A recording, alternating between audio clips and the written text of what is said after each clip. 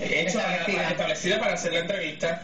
Se sentó, a los pocos segundos iniciamos la grabación y, al- y concluyó la grabación y inmediatamente él concluyó, se- eh, continuó con su agenda.